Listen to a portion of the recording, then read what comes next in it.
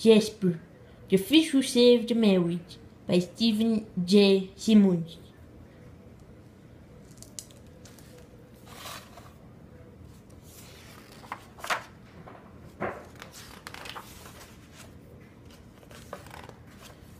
Once there was a little fish called Jasper who lived on the island of Martha's Vineyard.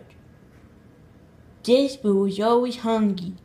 He would eat any, everything and anything, large or small. It didn't matter. Jasper liked to eat.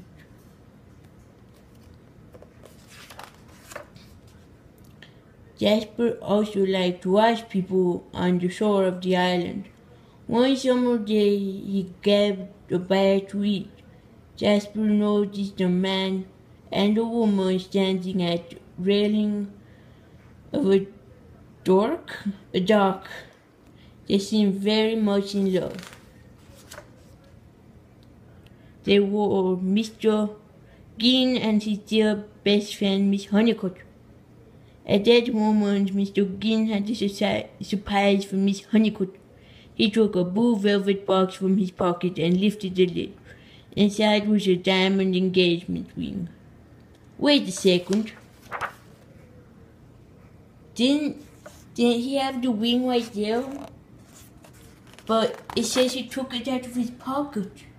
What the heck? Anyway, Miss Honeycutt gently lifted the ring out of the box and read the inscription engraved inside the band. To my beloved, I am the luckiest man alive. This ring was my great grandmother's, said Mr. Ginn. She always said it about her good luck and great joy in marriage. It has been passed down for generations. Now, and now I'd like you to have it. Will you marry me?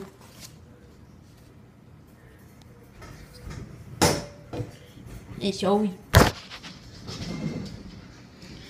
okay. Oh, sweetheart, of course I. Miss Honeycutt started to say, but before she could finish, a boy on a skateboard past, knocking her against the railing. The ink went sailing out of her hand into the water. Apparently, the guy did too. See, he's falling into the water. Down, down, down he went. Just saw the ink pass right in front of him. It looked shiny and delicious. So goop into his mouth and in. Dock, Miss Honeycutt burst into tears. Ginn comforted. Don't worry, I'll get you another ring. But Miss Honeycutt said, No, I, I lost your family ring. I love you, but I can't marry you when I, I bring you such bad luck. No matter what Mr. Ginn said, Miss Honeycutt just won't listen. Mr. Ginn offered a reward to anyone who could find him. Many tried scuba divers, snorkelers, and even dog paddlers, but no one found ring. Miss Honeycutt and Mr. Ginn finally left the island. Two very sad people.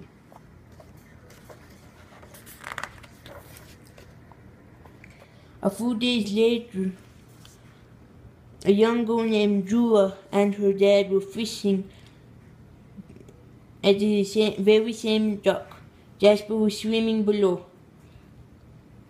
When he saw the wiggly worm on Julia's fishhook, goop down the wind. Julia felt the tug on her line and reeled it. Daddy, look, Julia exclaimed. That's the most beautiful fish I've ever seen. I want to keep. Keep it? asked my father. You mean as a pet? Julia nodded. Her dad down looked down at what? What? Her dad looked down at his daughter and rubbed ruffled her hair. Okay, he said with a smile. What are you doing? What are you going to call him?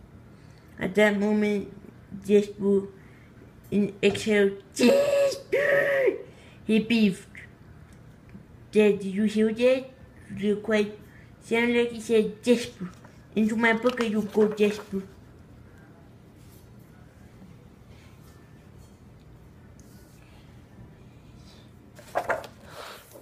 That much pages. Read it on your own time.